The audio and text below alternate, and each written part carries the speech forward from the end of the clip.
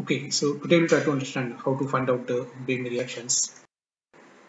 So here we have shown the simply supported beam supported at two points A and B.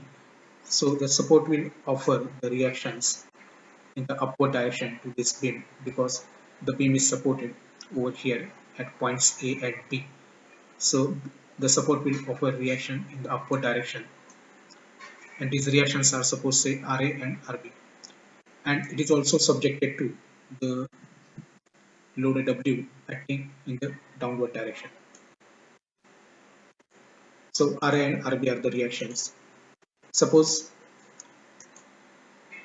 the load is acting at a distance of A from the left hand support. So this is the left hand support.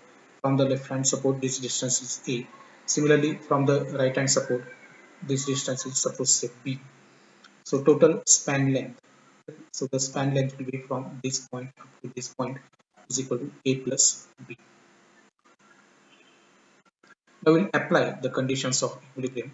The first condition of equilibrium is summation of forces in y direction is equal to 0. The forces which are acting in the upward directions they are positive and the forces which are acting in the downward directions they are negative.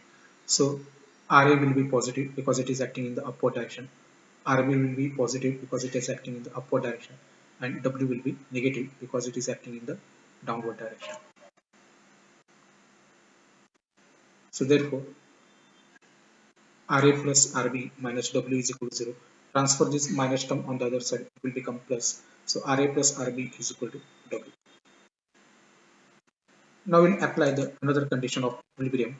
So we'll take the moments about point A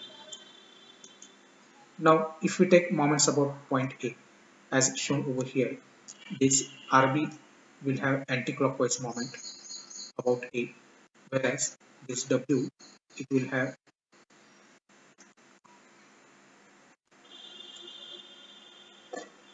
it will have clockwise moment. W will have clockwise moment about A. So, as RB is having anti-clockwise moment, we'll assume anti-clockwise moment to be negative so RB multiplied by L. So force multiplied by the perpendicular distance that is L will be the moment of this RB about A and that will be negative because this moment is anti-clockwise. Similarly, W this is the force which is acting in the vertical direction. Perpendicular distance is small a about point A. So and this moment is clockwise so it is positive. So W multiplied by a is the positive moment. Transfer this negative term on the right hand side so it will become positive. So therefore we'll get RB is equal to W into A divided by L. This value of RB we can substitute over here to find out the value of RA. So from this equation 1 RA will be equal to W minus RB.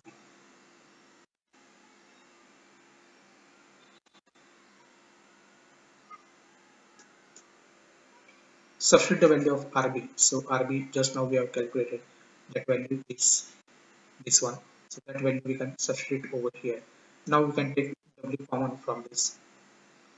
So it is w into bracket 1 minus a upon l or you can say that it is nothing but w into bracket l minus a upon l.